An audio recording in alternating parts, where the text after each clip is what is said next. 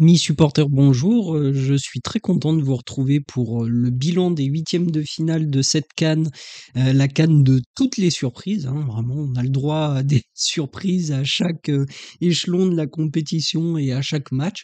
Donc voilà, on est, on est parti ensemble. On va revenir un petit peu sur ces confrontations-là. Et puis avant de commencer la vidéo, bien sûr, n'hésitez pas à vous abonner, à laisser un petit like et un petit commentaire pour me donner vos avis sur ces huitièmes de finale. Et quant à nous, on est parti pour ce débrief.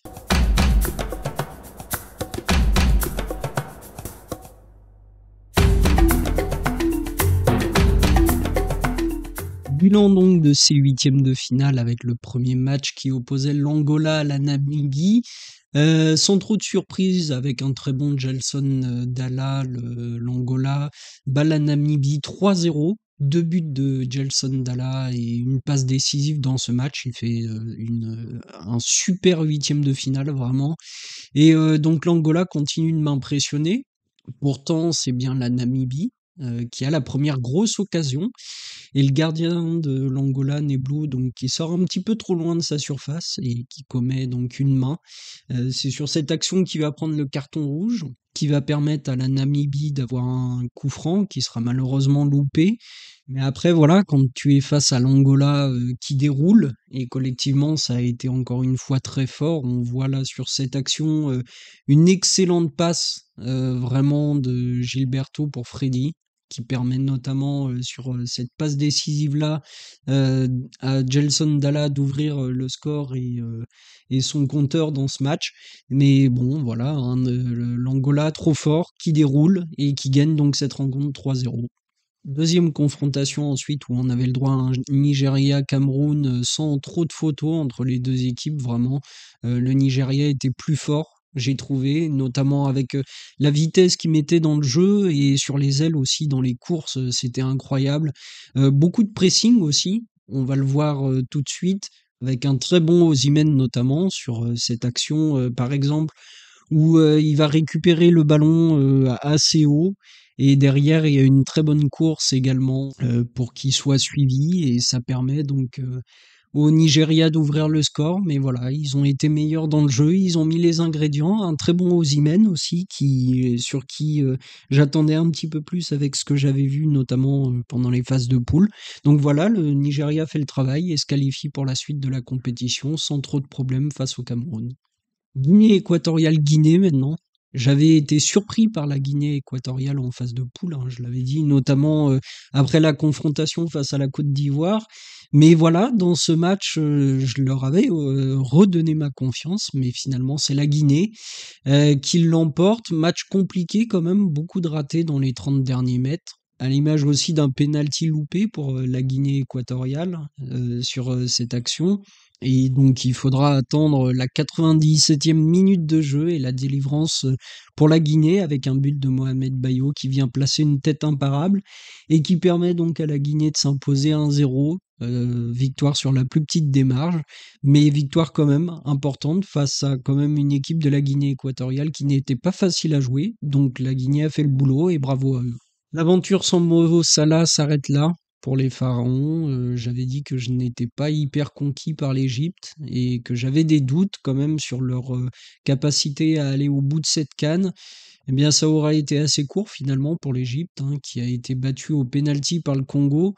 Euh, dans le jeu, c'était compliqué quand même. hein. L'Égypte a d'ailleurs égalisé sur penalty, mais parce que sinon dans le jeu, ils étaient en difficulté sans euh, vraiment réussir à se procurer des actions. Finalement, c'est un petit peu comme ce qui s'était passé dans les phases de poule. euh, Il, manquait de, de liant, de, de créativité par moment, et puis de, de voilà, prise de décision. Et au final, bah, ça nous donne euh, des matchs compliqués depuis le début de cette canne pour l'Égypte. Et finalement, euh, bah, c'est une canne peu convaincante et à oublier pour euh, les Égyptiens.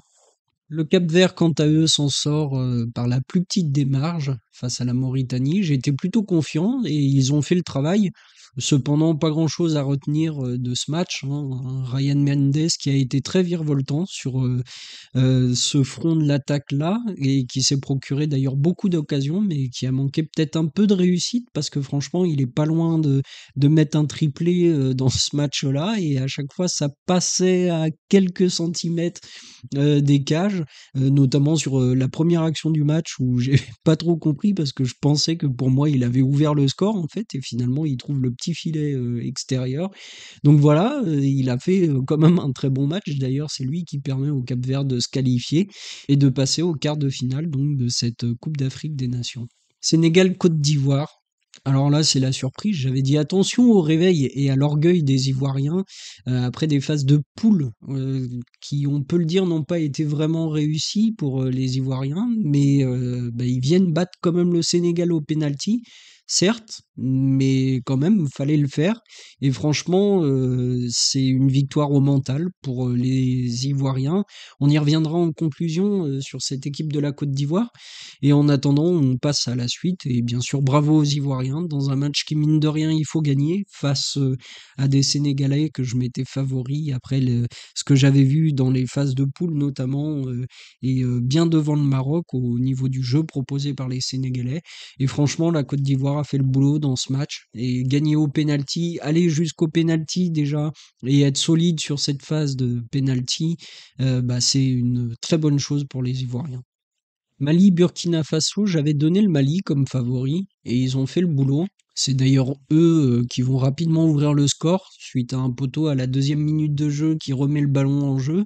Et derrière, voilà, il y a une très bonne frappe qui permet de lober le gardien et d'ouvrir le score. Et dans l'ensemble, ils étaient plus forts que le Burkina dans ce match.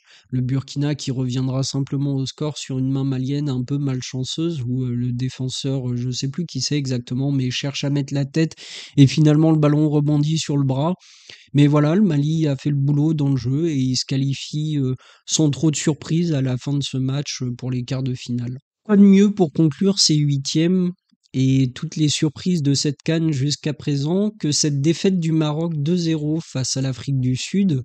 Et bah, ça n'a pas fonctionné pour le Maroc, hein, à l'image de cette action d'Amin Adli qui tergiverse trop. On est à la 44e minute de jeu et il cherche à faire un crochet intérieur finalement, il repart à l'extérieur et puis il se retrouve face au gardien et il part avec le ballon jusqu'en sortie de but. Donc voilà, il n'y avait rien qui allait pour les Marocains dans le jeu et même sur coup de pied arrêté, Hakimi qui, qui loupe son penalty, qui aurait pu permettre au Maroc de se remettre dans le match, mais ça ne passait pas, même sur coup de pied arrêté. Au final, on est à la 85e minute de jeu quand même, et on voit d'ailleurs après le penalty que Walid Regragui a bien compris que le Maroc n'y arriverait pas. Et au final, bah, ça passe pas pour le Maroc, un peu comme l'Égypte finalement et les grosses équipes qui se sont fait sortir.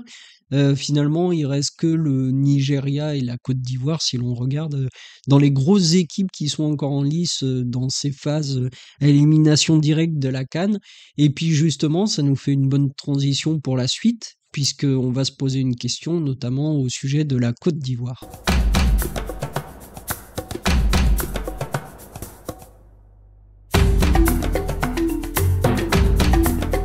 La suite donc de cette Coupe d'Afrique des Nations, la Côte d'Ivoire peut-elle gagner la Cannes? C'est la plus grosse équipe encore en lice avec euh, le Nigeria, comme je l'ai dit. Et il faudra aussi faire attention à l'Angola, pour qui ça se passe très bien pour le moment dans cette canne. Et puis on le voit aussi dans cette canne que finalement les grosses équipes sont mises en difficulté. Et dans l'ensemble, ça se passe pas très bien. Donc il faudra notamment encore pour euh, la Côte d'Ivoire aller battre le Cap Vert qui sort quand même de gros matchs jusqu'à présent. Donc c'est pour le moment trop tôt pour euh, dire si la Côte d'Ivoire peut aller au bout de cette canne. Mais voilà, au niveau des favoris sur le papier, eh ben en tout cas, ils commencent à être les derniers encore en lice. Donc pourquoi pas? C'est euh, peut-être euh, l'année qui peut leur permettre de reprendre goût à cette compétition. Amis supporters, merci d'avoir suivi cette vidéo. On se donne euh, très rapidement rendez-vous pour la suite de nos aventures. Continuez à suivre cette canne avec intérêt puisqu'il y a des matchs très intéressants à suivre. Et puis quant à nous, on se donne rendez-vous pour la prochaine vidéo. À bientôt.